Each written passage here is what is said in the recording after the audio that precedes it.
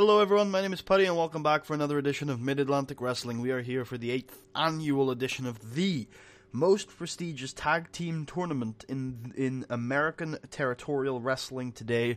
We are here for, of course, the Sam Keith Classic A4 Team Round Robin Invitational Tournament. The uh, the winners of which include uh, the Ring Generals, Casey Glenn, and, and many other legends of the business that have won this tournament and gone on to do great, great things. Of course, last year's winners uh, were the Aces of Mayhem, cementing themselves as one of the greatest tag teams in the history of Mid Atlantic Wrestling and even the entire independent scene. They went on to a, t- a championship match, a, uh, a wonderful ladder match at where it all begins again. But who are our teams this year? I have not even announced any teams that were going to be in this tournament before we uh, we came to this show. Usually, there's at least one or two teams that throw their names in the ring. But uh, of course, the tag team scene is very different this year than it was last year. Last year, you had the very uh, uh, what's the word? The very loud characters of Sid Collier and Cameron Jones, who uh, were very quick to tell people that this was going to be their apex. This was going to be their big uh, show that they were going to prove to everyone that they were the best.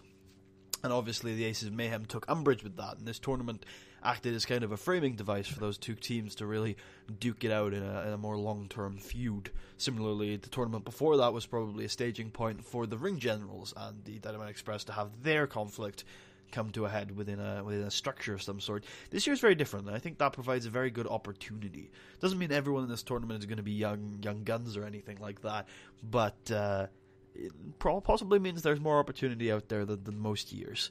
Uh, one thing I would like to mention is that um, Americana, the team of Eric Lee and American Elemental, were supposed to be in this tournament. They announced their entrance a couple of weeks ago on the Mid Atlantic website. However, during the last show, Kamikaze and American Elemental had a wonderfully brutal match. It was violent, it was extreme. There were many, many spots which could have taken years off of either guy's career. Uh, luckily, that didn't happen. They're, neither of them are seriously hurt. However, American Elemental did suffer a niggling little injury that he thought he could work through, and uh, he spent some time over the last couple of weeks working in, other companies. And sadly, on one of those dates, he tweaked his leg. And uh, so he is not out full time or anything like that. He'll probably actually make it back for uh, the August show. But he's unable to compete in this tournament, which is very sad for, I'm sure, Eric Lee and America and American Elemental. Americana is the tag team name. Probably should. I thought that was a good tag team name, but I'm getting so confused. I'm thinking of changing it. Um, but I won't. Um, but yeah, aside from that, uh, our entrance in the 2018 Sam Keith Classic, the eighth one, are as follows. Devil May Care, the team of Acid and Stuntman, Notorious, the masters of the Coastal Zone tag team match, Miguel Rivera and Carlos something or other. Carlos and Miguel, okay? The ring generals, Dean Waldorf, Deadly Dean Waldorf, and Marvelous Marv Stadler, and the all star team of the Mid Atlantic Regional Heavyweight Champion, Apollo, uh, Island Boy Apollo, and the Heavyweight Champion of the World. Uh, Ernest Youngman. Why am I just saying Youngman? Okay, yes, Ernest Youngman. All star tag team there in our, uh, to be competing in this tournament, as well as uh, three of MAW's best, with the Ring Generals, of course, being our local tag team champions. We are in the Meccan Auditorium. We are here in front of a packed 800 crowd.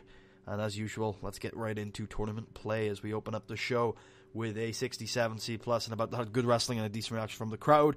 Ernest Youngman and Island Boy Apollo get points on the board by defeating the Ring Generals in 17 minutes. When Ernest Youngman defeated Dean Waldorf by submission with a crossface chicken wing and Ernest Youngman carried the match. A very good match between these guys. The All Star team of uh, Ernest Youngman and Island Boy Apollo. You know, you, you have the ring generals who are just a well oiled machine, and you've got someone like Deadly Dean who can work someone down, who can grind the matches to a halt and really control tempo. So the the All Star team definitely had a rough time with this. Um, but in the end, Ernest Youngman's on such a roll right now. You know, ever since he left MAW for a bit of a journey, he uh, he ended up defeating so many people across the territories, winning the heavyweights championship of the world, um, and came back here and is so confident, is so on top of his game right now, and he manages to go toe to toe with Dean from a technical perspective, counter for counter, fit, fast paced, quick grappling, and in the end, Ernest manages to uh, lock in that crossface chicken wing to get the points on the board for the All Stars as we move into our second first round match between um, between Notorious and Devil May Care. And a 40D minus, Notorious defeat Devil May Care when Miguel Rivera defeated Acid by pinfall with a shot in the dark. Match got the crowd hotter. A hot, exciting match between um, two exciting teams for sure. Notorious, obviously, uh, vets of the Coastal Zone style, the fast paced, wow action, adrenaline rush stuff you'd see from a fast paced independent like that. You see some hurricanranas on the outside, and any brawling that happens, because this probably does devolve into a slugfest at some point. It's just it's quick paced. There's some charisma involved. They're getting the crowd involved, but of course, Devil May Care with that reckless attitude, just throwing their bodies, uh, throwing their bodies at their opponent, just. Uh, clearing house, just absolutely destroying uh, their bodies and their opponents' bodies, and it's just a crazy, fast-paced match, very short. And in the end, Miguel Rivera just catches Acid 2 on one of those high-risk maneuvers, and that's all it takes when when you're pulling off those high-risk maneuvers. All it takes is a is, is one mistake, and it's game over. So let's take a look at the bracket at the end of the first round with Notorious and the All Stars getting on the board with two points each, and Devil May Care and the Ring Generals falling a little bit behind. We're still early days, not much you can tell from these first round results. Of course, there are going to be three rounds as usual, um, but uh, good showings from the Coastal Zone Tag Team Masters and the All Star team of our local heavyweight champion and the world's heavyweight champion. Good stuff. We move into our first break of the evening, and in the interview area, um, the Dynamite Express are being interviewed by Sweet Tabitha, and uh, she says, "Hey, you you guys, I wanted to I wanted to get your thoughts on who you thought would win tonight, and I was also interested in uh, in whether you guys missed this. You know, you guys never got to win this tournament, and uh, I was wondering if that that still sticks in your mind." Sid and Cameron they look at each other, and Cameron picks up the mic and he says. You know, I, I've been watching this tournament and, and I've seen some impressive performances, and I think, you know, they may have lost in the last round, but I think the Ring Generals uh, are the best tag team I've ever been in the ring with and so I would expect them to go all the way. Sid takes the mic off of Cameron and says, uh, "As for if we miss this, well, you know, it's a bit of a shame that we never got to win this tournament, but it doesn't diminish the reigns and the, the history of the Dynamite Express any any further. We are still the greatest tag team in the history of Mid Atlantic Wrestling, and we, we you know we're not thinking about being a tag team anymore. You know, we're still good friends and we're still going to support each other, but." It's time to move on. And over the next two months, we're both going to get championship opportunities, and that's what we're focused on right now. And we move into the second round matches. As in a 52D plus, the Ring Generals the uh, defeat Notorious when uh, Dean Waldorf once again works down Carlos Barada with a uh, okay with a wheelbarrow bomb. Their tag team finishing maneuver, just that well-oiled ring general machine. This is the same result we got a couple months ago when these two faced off for the Mid Atlantic Regional Tag Team Championships. Uh, Marvelous Marv, I think. I think we'll give it. I think this match is probably a Marvelous Marv shine match.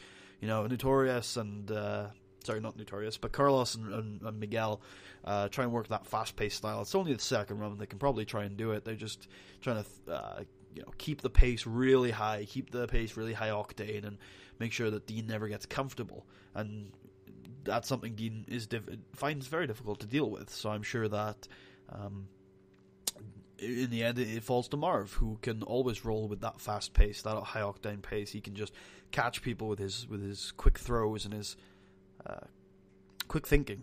A really uh, good athlete is Marv, Marv Stadler, and sometimes he doesn't have those technical basics that, that Deadly Dean can employ. But he's he's really quick on his feet. He's got the mind to uh, to roll with the punches, and I'm sure he switches the tempo back around, and he can he can roll with the best of them when it comes to a fast-paced coastal zone style match. And in the end, Dean Dean picks up the victory after I'm sure Marv did most of the most of the work in this match, but that's fine. Dean does a lot of the work in the more comfortable matches that are that are able to be won from a tempo perspective, whereas Marv is that backup where if they don't set the tempo that they like, then Marv can still roll with that high octane pressure. And we move into our next second round match as uh, in a 55C minus, Devil May Care whew, defeated the All Stars, Ernest Youngman and Island Boy Apollo, when Acid defeated Island Boy Apollo with a jump of the shark. Ooh, Ernest Youngman carrying the match again, but wow, what a victory for this young upstart tag team Devil May Care, managing to pick up a victory over the All Star tag team of the World's Heavyweight Champion and the Mid Atlantic Regional Champion. What does that leave our bracket looking like? Yes, indeed. It is all even. There is one victory and one defeat for all of the tag teams thus far in this tournament. This has happened a couple times in the past, and it just leaves the field wide open. Anyone could win from here. We really don't know. So uh, I guess we just got to find out. And we move into our second break of the evening, and Acid and Stuntman, after their victory, they, they go over to Sweet Tabitha, and Acid picks up the mic and he says, You know, we are a young tag team. We like to throw our bodies on the line. We like to put everything we've got on the line because we believe we've got nothing to lose. And we got and we like to look back at the end of our wrestling career and say that we have we have got no regrets because we did everything in our power to make sure that everybody knew that we were the best.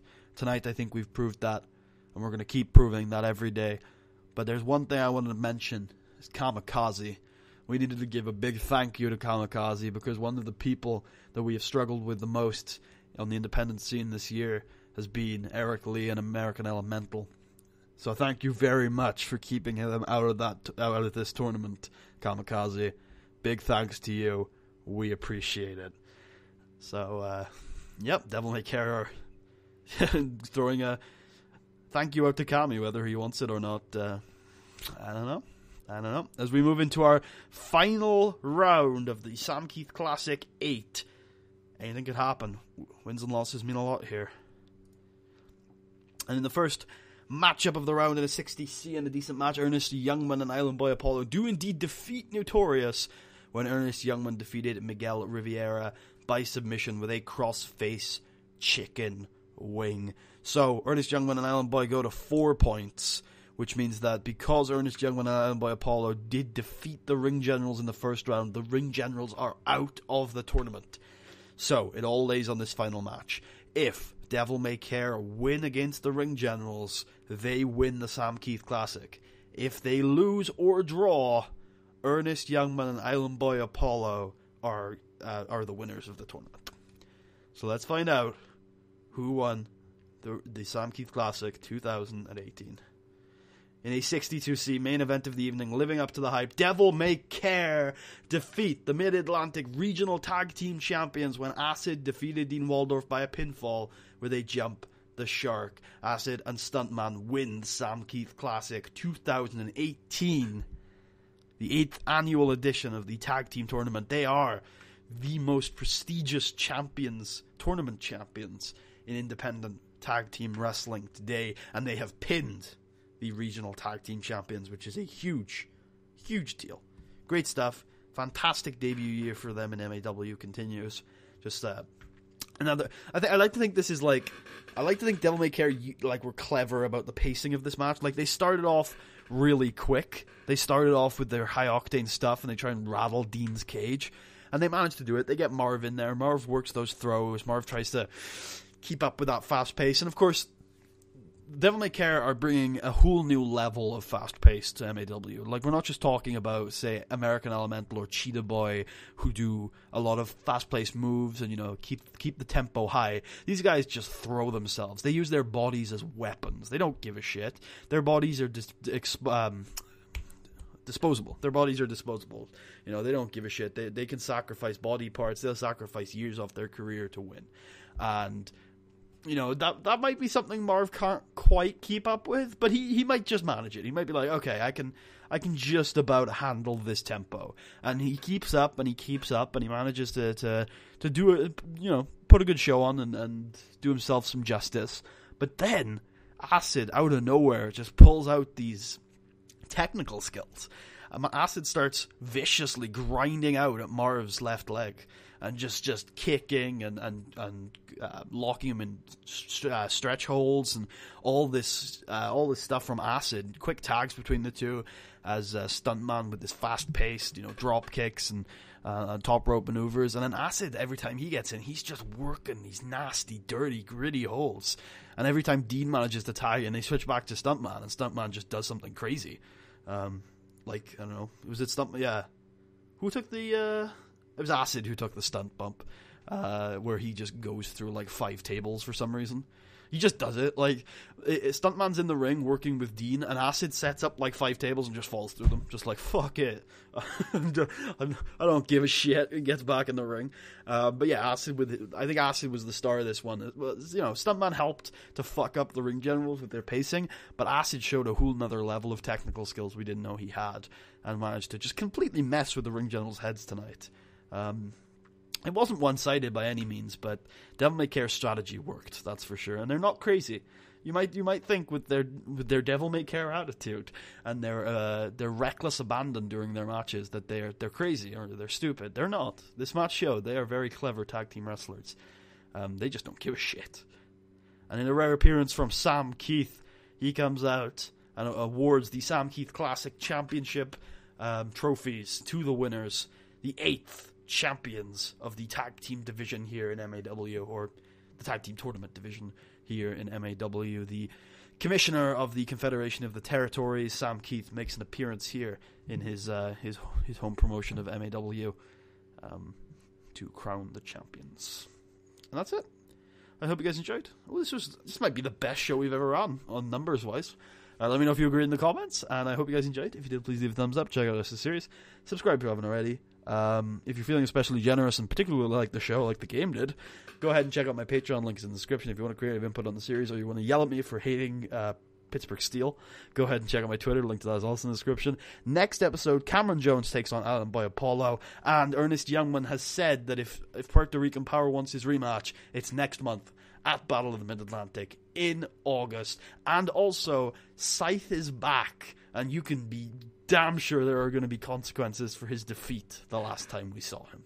So join me next time for that. I hope you do, and if you do, I will see you guys then. Thank you so much for watching. Peace out.